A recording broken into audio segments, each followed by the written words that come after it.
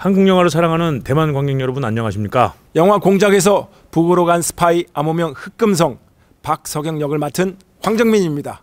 북한 대외경제위 처장 리명원 역을 맡은 이성민입니다. 남한 안기부 해외실장 최학성 역을 맡은 조진웅입니다. 북한 국가안전보위부 제2국 과장 정무택 역을 맡은 주준입니다.